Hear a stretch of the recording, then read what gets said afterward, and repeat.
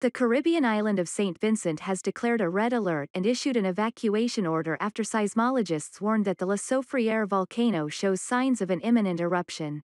Prime Minister Dr. Ralph Gonsalves issued an immediate evacuation order as the situation at La Soufriere volcano deteriorated further on Thursday afternoon, and announced that several cruise ships would be arriving from Friday to help get residents out.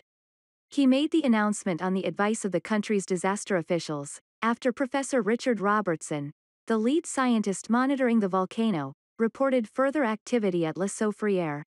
The National Emergency Management Organization, NEMO, said the safe areas were those from North Union to Kingstown, on the windward side of the island, Barouallie to Kingstown on the leeward side and the Grenadine Islands.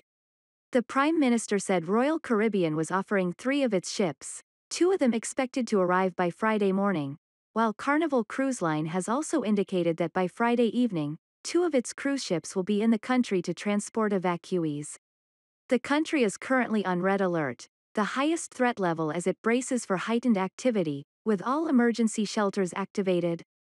Prime Minister Gonsalves, who disclosed that he was attending a meeting of the National Emergency Management Council when Professor Robertson alerted him to the latest development, said NEMO director Michelle Forbes had advised him on the evacuation.